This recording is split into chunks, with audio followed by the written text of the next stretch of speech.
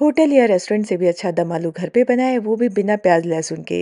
एकदम creamy texture वाला, बहुत ही ज़बरदस्त और बहुत ही सिंपल तरीके से। आलू की ये सब्ज़ी गर्मा गर्म पूरी पराठे के साथ मिल जाए ना तो खा के दिल खुश हो जाएगा। बहुत ही आसान है बनाना और स्वाद बहुत ही ज़बरदस्त। तो इसे बनाने के लिए हमें क्या करना है कि उबले हुए आलू ले लेना है। तो यहाँ पे मैंने 500 ग्राम उबले हुए आलू लिए हैं, आलू का छिलका निकाल लें और इसके बाद इसे दो टुकड़ों में काट लें। ये देखिए ऐसे अब इन आलू को हम हल्दी, लाल मिर्च और नमक से कोट कर देंगे। उससे क्या होगा, जब हम इसे फ्राई करेंगे तो इसके ऊपर की लेयर जो है वो कलरफुल दिखेगी, साथ ही साथ जल्दी क्रिस्पी होगी। अगर सिर्फ़ उबले हुए आलू फ्राई करेंगे ना तो वो टूटने लगते हैं। तो जब भी आप आलू को फ्राई करें तो हल्दी, लाल मिर्च और नमक ऐसे मिला के और अच्छे से कोट कर दें और उसके बाद फ्राई करें। तो आलू का कलर भी अच्छा आएगा, सब्ज़ी में वो अच्छी दिखेगी भी और उसका क्रंच भी अच्छा आएगा फ्राई होने का। तब हम एक पैन में दो चम्मच तेल गरम करेंगे और इसके बाद ये आलू डाल के इसे दो मिनट के लिए मीडियम फ्लेम पे फ्राई कर लेंगे। ये देखिए, इसे ऐसे मिक्स करें बीच बीच में चलाते रहें। तो मसाला जो है वो आलू के ऊपर अच्छे से सेट हो जाता है और ये ऊपर से बहुत ही क्रिस्पी दिखता है। अब हम इस फ्राई किए हुए आलू को एक प्लेट में निकाल लेंगे और सेम पैन में एक चम्मच तेल वापस डाल देंगे। इसमें हम डाल देंगे चार हरी मिर्च, दो इंच अदरक दस काजू डाल दें और उसके बाद टमाटर डाल देंगे। लहसुन हम इसमें नहीं इस्तेमाल करेंगे और प्याज भी नहीं। तो यहाँ पे टमाटर डालने के बाद थोड़ा सा नमक डाल दें और इसके बाद इसे दो से तीन मिनट के लिए भून लें। जैसे ही टमाटर पक जाएगा, हम गैस को बंद करेंगे और इसे ठंडा हो जाने देंगे। जब ये टमाटर अच्छे से ठंडा हो जाएगा, तब हम इसे निकाल के और इसका एक पेस्ट बना लेंगे। तो यहाँ पे मैंने इसे ठंडा कर लिया है। ग्राइंडिंग जार में निकाल लें और ठंडा होने के बाद ही मिक्सर को चलाए। गर्म पीसेंगे ना तो ढक्कन से पूरा जो मसाला है वो बाहर आने लगेगा। तो ये काम आप नहीं करें, इसे ठंडा हो जाने दें, उसके बाद पीसे। तो यहाँ पे मैंने इसे ठंडा करके पीस लिया है। ये देखिए, अगर ये नहीं पीस रहा है तो आप थोड़ा सा पानी ऐड कर सकते हैं। अब हम सेम पैन में तीन चम्मच तेल गर्म करेंगे। इसमें हम डाल देंगे आधी छोटी चम्मच जीरा, साथ में ही थोड़ा सा दालचीनी डाल दें। दो बड़ी इलायची ऐसे क्रश करके या तोड़ के डाल दें और दो तेज़पत्ता डाल देंगे हम। इन सबको अच्छे से भून लें ताकि इसका जो फ्लेवर है वो तेल में आ जाए। अब हम इसमें आधी छोटी चम्मच हल्दी का पाउडर, डेढ़ छोटी चम्मच लाल मिर्च पाउडर डाल देंगे। मैं यहाँ पे कश्मीरी लाल मिर्च का इस्तेमाल कर रही हूँ। तेल बहुत ज़्यादा गर्म नहीं हो, इस बात का ध्यान रखें, जब आप लाल मिर्च या हल्दी डालें तो। इसके बाद ये पेस्ट डाल देंगे जो हमने बना के रखा है और पेस्ट को हम अच्छे से मिला देंगे। तो यहाँ पे हमारा मसाला पेस्ट अच्छे से मिक्स हो गया है। अब हम पैन को कवर कर देंगे और इसे तीन से चार मिनट तक पकने देंगे।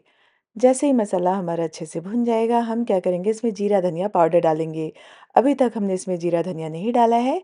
तो यहाँ पे इसे अच्छे से मिलाने के बाद हम इसमें एक छोटी चम्मच धनिया पाउडर डाल देंगे, आधी छोटी चम्मच जीरा पाउडर और साथ में ही आधी छोटी चम्मच गरम मसाला पाउडर। सबको अच्छे से मिला दें। ध्यान रहे, धनिया की क्वांटिटी जीरा से डबल रखनी है। अब हम इसे दो मिनट और पकाएँगे ताकि मसालों का जो कच्चापन है वो निकल जाए। तो यहाँ पे हमने सारे मसाले और पेस्ट जो है वो अच्छे से पका लिए हैं। ये देखिए, ये पैन से अलग दिख रहा है। मतलब मसाला हमारा अच्छे से भुन गया है। तो यहाँ पे हमें ऐड करना है दही। तो दही डालने के पहले गैस को बंद कर दें और मसाला को थोड़ा ठंडा हो जाने दें। तीन से चार चम्मच दही लें और उसके बाद जब मसाला ठंडा हो जाएगा तब इसमें मिक्स कर दें। दही डालने के बाद इसे अच्छे से मिला दें। अगर मसाला आपका बहुत ज़्यादा गर्म रहे और गैस ऑन रहे तो कभी कभी दही जो है वो फट जाती है। इसीलिए मैं आपको सजेस्ट करूँगी कि दही जो है वो मसाला को ठंडा करके डालें। दही डालने के बाद इसे अच्छे से मिला दें और गैस को ऑन कर दें। अब हम इसे चार से पाँच मिनट पकने देंगे। चार से पाँच मिनट बाद आप देखेंगे कि यहाँ पे मसालों का कलर बहुत ही बढ़िया आ गया है, ये देखिए। तब हम यहाँ पे डाल देंगे पानी। तो पानी हमें यहाँ पे दो कप डालना है। पानी डालने के बाद हमें इसमें नमक डालना है। नमक अभी तक हमने नहीं डाला इसमें। ध्यान रहे, आलू को मैरिनेट करते वक्त हमने नमक का इस्तेमाल किया था। अब हम इन सबको अच्छे से मिला देंगे और उसके बाद करी में उबाल आने का इंतज़ार करेंगे। तो यहाँ पे पैन को कवर कर दें और गैस का फ्लेम हाई कर दें। आधे मिनट में ही ये पानी जो है वो उबल जाएगा। तो यहाँ पे हमारी करी जो है वो अच्छे से उबल गई है, ये आप देख सकते हैं। तब हम यहाँ पे ये फ्राई किया हुआ आलू डाल देंगे। और इसके बाद इसे अच्छे से मिला देंगे। अब हम इस दम आलू को ढक देंगे और पाँच से छः मिनट धीमी आँच पे पकने देंगे। तो यहाँ पे हम क्या करते हैं कि पैन को कवर कर देते हैं और घड़ी देख के पाँच मिनट धीमी आँच पे पका ले इसे। पाँच मिनट बाद मैंने पैन का ढक्कन हटाया और यहाँ पे आप देखेंगे ना कि करी का कलर कितना बढ़िया है, ये देखिए। तो लास्ट में गैस बंद करने से पहले हमें इसमें डाल देना है ढेर सारा धनिया पत्ता और उसके बाद गैस को बंद कर दें। तो ये हमारी सब्ज़ी जो है वो बन के तैयार हो गई है।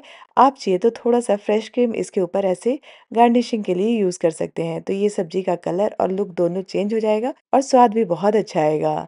तो लग रहा है ना ज़बरदस्त?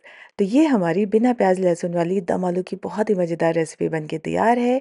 आप इस आलू की सब्ज़ी को एक बार ज़रूर बनाएँ, ये आपकी फैमिली को बहुत पसंद आएगा। और रेसिपी ट्राई करने के बाद आप मुझे कमेंट सेक्शन में ज़रूर बताएँ। बहुत ही अमेज़िंग बना है। मेरे कहने पे आप इस रेसिपी को ज़रूर ट्राई करें। और नहीं, ये नहीं।